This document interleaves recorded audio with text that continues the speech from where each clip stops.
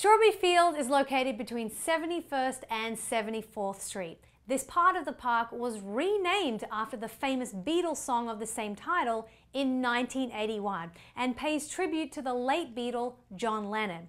Now, Lennon actually used to live in the Dakota apartments adjacent to this side of the park. And be sure to check out the iconic Imagine mosaic that marks Strawberry Fields as a garden of peace. You may be lucky enough to catch a celebrity or two right here. A good friend of mine saw Bono from U2 paying tribute to the late Beatle a few years ago.